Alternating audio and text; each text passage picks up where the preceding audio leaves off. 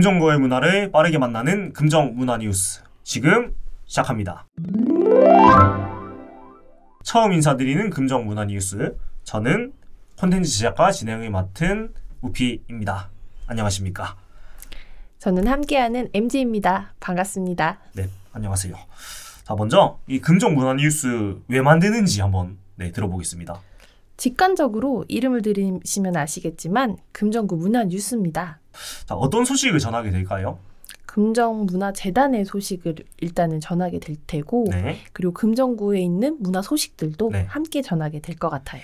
좋습니다. 사실 문화재단들이 많이 있는데 뭐 하는지 잘 모르시거든요. 그래서 조금이나마 저희가 알려드리려고 이렇게 네, 나서게 되었습니다. 네, 좋습니다. 그럼 바로 첫 번째 뉴스 만나보도록 하겠습니다. 금정문화재단과 함께하는 명사 초청 강연 금정 마스터 클래스 시즌 1이 3월 30일, 4월 6일, 4월 21일 세 번에 걸쳐서 열립니다.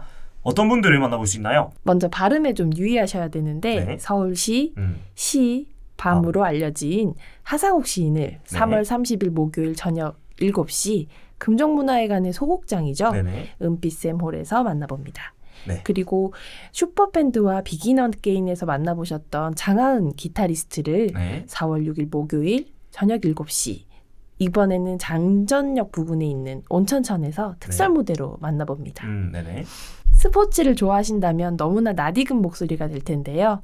박문성 스포츠 해설가를 4월 21일 목요일 저녁 7시 금정문화회관 은빛샘홀에서 만나보실 수 있습니다.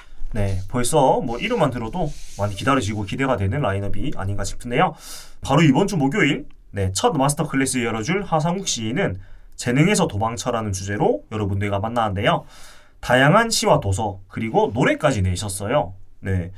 노래 직접 하셨는데 잘해요 심지어 네 그리고 방송에서도 다양한 모습도 보여주셨는데 그런 재치 넘치는 모습들 네 만나보실 수 있으니까요 이번 주 목요일 7시 금정문화회관 금빛 샘홀로 네 와주시면 감사하겠습니다 관람은 전석 무료로 준비되었고요. 지금 여러분께서 보이시는 QR코드로 신청이 가능합니다. 전화 문의 및 신청도 가능하니까 많은 참여 부탁드립니다. 네 마스터 클래스가 열리는 월요일마다 이번 주의 마스터 클래스 소식을 계속 전화해 드릴 테니까요 어, 깜빡 잊고 놓치지 마시고 듣고 싶은 마스터 이야기 꼭 챙겨 들으시기를 바라겠습니다 네, 두 번째 소식입니다.